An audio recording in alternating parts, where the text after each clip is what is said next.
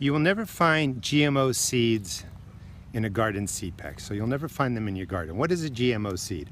It's a genetically modified organism, which means it's made by human beings. It doesn't occur naturally.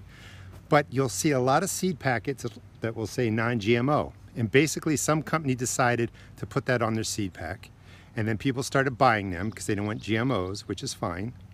And then other companies had to follow, but they also jacked the price up on them. So you're buying a pack that says non-GMO, but you will never find them in a garden. GMO seeds are big business. They're only used by farms, large-scale farming. You have to sign contracts.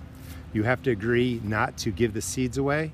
You have to spend thousands and thousands of dollars to use GMO seeds on a mass farming scale. You will never find them in a seed pack, and you'll never find them growing as transplants for your garden. So don't pay a lot of money when you see the GMO on a seed pack.